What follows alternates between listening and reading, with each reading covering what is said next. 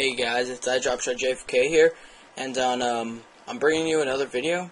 I haven't made a video in that long, and uh, so yeah, in the uh, period of time, I have started a new world, and I just wanted to show you um, my quick tip for finding diamonds. Um, I I'm basically just uh, dumbing down the idea of uh, Kirshars, so go check out his video probably have a link in the description, so go check that out. That's a longer, more long-winded version, I guess you could say, even though he doesn't talk. So, uh, yeah, basically, what I do is I take a uh, stairway down to the bedrock, and then fortunately I came so there's no bedrock actually around me, there's just bedrock down here. So, technically, this is layer 4. The layer above the bedrock is layer 5, and then you just have to go 5, 6, 7, 8, 9, 10, 11, 12, 13, 14, 15, 16. Now this is layer 16, and this is where most of the, um, or no, my bad. This is where layer 16 is, and this is going to be most, where most of the, um, okay. This is layer 16, and in between layer 16 and layer 10, there are, that, that's where the diamonds are in any of the game.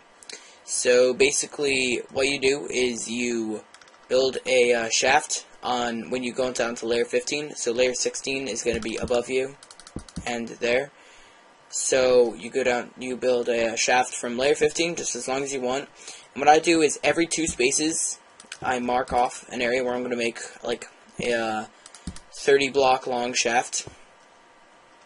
So it's like on each side. I don't make it like this, skip one. I instead of skipping one, I always skip two because you learn you uh what's it called? You uncover more and you don't waste your uh, picks. Like for example, if I did this and I did uh, every other one, I would this one would still be on the right for this and on the left for this one. So what that means is that you can uncover more and you don't have to waste your uh, picks. So once you do that, uh, just undo everything, anything you want, and keep going. Like for example, I haven't uh, actually done these yet; I've just marked them off. And then what I do is I uh, make off a small section. I build a uh, stairway down here. Then I build a uh, thing, a passage going down. So let's see, and I you have to build them directly underneath the ones that are on top. So if that one is right there, this one will be, crap, right here. So mark that off. Then skip one, two, go down. Skip one, two. And the easy way to check if you're still along the uh, path is if you do this, you'll be able to see up into there. So that's just one way. And then what else I do is I make a little area up here so I can um so any coal that I find and any uh, anything that I want to smelt, for example iron, if I run out of picks, I always have I'm always gonna have a uh, inventory box here or uh crap, what's it called? A uh oh god, I feel so stupid. I always have a, a uh, chest here. That's a chest so I can hold any coal that I find to make light or torches like, for example, I only have 25, but I got this enough coal, so I have to go up and get some more. And I also have a crafting table and a uh, furnace. Those are obvious reasons.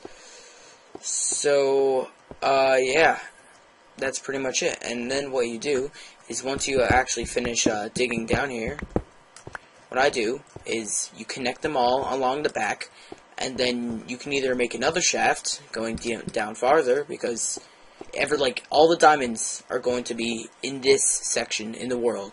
I mean, this world is it like this world is infinite. All right, you're gonna be able to find every single diamond that you're gonna find. You're gonna find in this section of the world and this section. So I don't know. You don't have to. You're not always gonna find them, but chances are you will. And you just keep making more. And like, don't go any farther down than this. So technically, 16, 15, 14, 13, 12, 11, 10. Because anywhere below 10, that's where the lava's going to be. And then if you uncover something, you might find uh, some diamond on the top or something around the side. But then you're going to have lava coming in, and then you're going to have to take care of that. So if you do this, you don't risk your uh, life as much. And uh, so yeah, that's pretty much it. I'll talk to you guys later. See you. Bye.